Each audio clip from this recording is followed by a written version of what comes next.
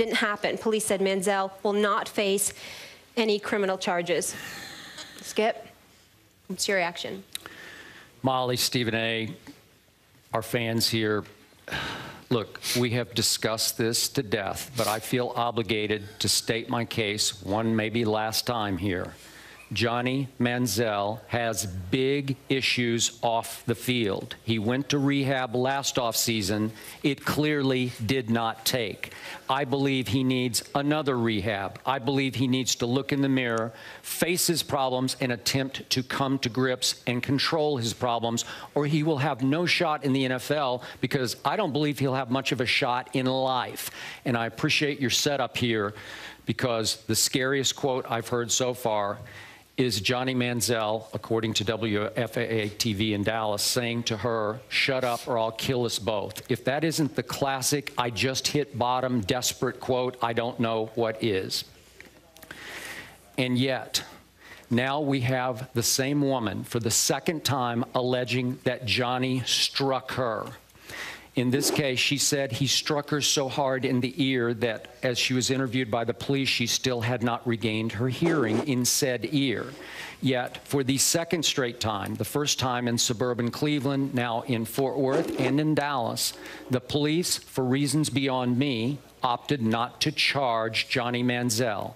I don't know the details. I don't know the testimony. I just find it highly suspicious, and that's just my two cents from a distance.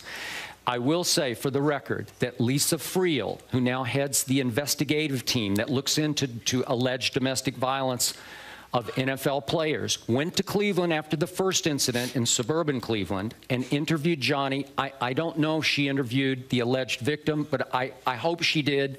I'm going to assume she did. And the NFL chose not to punish Johnny Manziel. I am also going to assume that Lisa Friel will be back on this case quick, fast, and you, as you say, in a hurry. I'm hoping she will again interview Johnny. I'm hoping she will again interview for a second time the alleged victim. And I am hoping that Johnny Manziel gets punished and punished harshly by the league for what our law enforcement has failed to punish him for. That's just my two cents from a distance, from what I know, from what I read. I've, I've seen and heard enough of this, and I hope the NFL now takes action. I hope Lisa Friel doesn't waste her time flying to Cleveland, Dallas, or wherever else he is. I don't think it's necessary. I don't think it's necessary to talk to the alleged victim in all of this. It's not necessary. If it walks like a duck and quacks like a duck, mm -hmm. it ain't a mm-hmm. damn mongoose, it's a duck. And the fact of the matter is, is that when you look at Johnny Manziel and the totality of the transgressions that he has, is alleged to have committed, enough's enough. Now, he might engage in, in, deniability or plausible deniability because nobody may have seen it, and he may have said this didn't happen, this didn't happen, that may that may not may or may not have happened. We don't know the facts. We were not there. We're getting uh, interpretation from her and what have you. But here's the reality: people in the NFL throughout recent history have been punished not just because of the preponderance of evidence, you know, veered against them, but also because of the perception and how it sullies the shield, sure. the NFL brand. Mm -hmm. So when you take all of those things into consideration, there's nothing that's required on the part of the NFL. You As have they been, say, the mm, personal conduct right, right. code the has personal, been violated, That's right. right. The personal conduct code yeah. has been violated. Mm -hmm. Alcohol, rehabilitation clinic, mm -hmm. allegations of things other than alcohol, mm-hmm. rehabilitation clinic Police report. Mm-hmm. Side of the road in Cleveland. Yep. Police report. Texas. Both involving potential violence upon a woman. What else do you need? The mm. fact is, is that these are the things that have been reported. These are the things that have been said. In the court of law, Johnny Manziel should and shall have his day. But last time I checked, there have been people, whether it be on this show, on various other shows, whether it be television or radio, or newspapers and beyond, the court of public opinion, they have been vilified, they have been excoriated, and they have been dealt with in the court of public opinion because of the preponderance of evidence faced against them. Because ultimately, somebody's asking you, why you? Why, of all the people in the world, do you find yourself in this situation because you have an obligation to make sure that you're removed from all of that.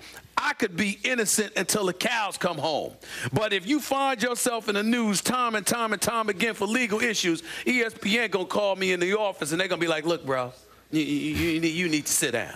You need to go home. You understand? You lucky if we call you back because we're tired of our name mm-hmm. being associated with your name Yep. for this nonsense. You got it. That's the real world.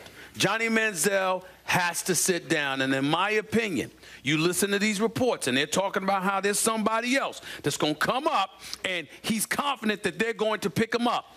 I said this before and I'll say it again.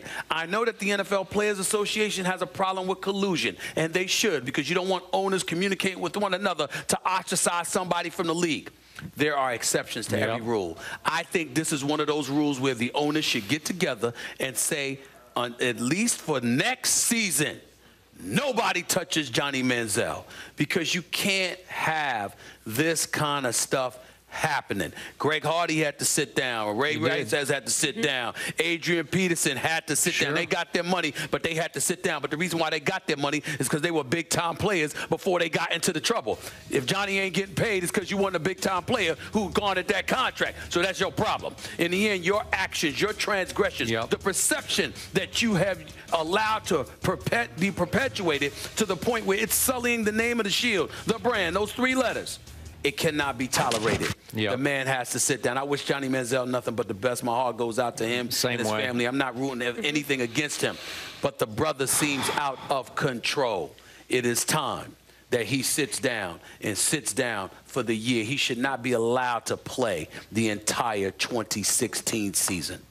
I am so with you, and I apologize to the, thank you.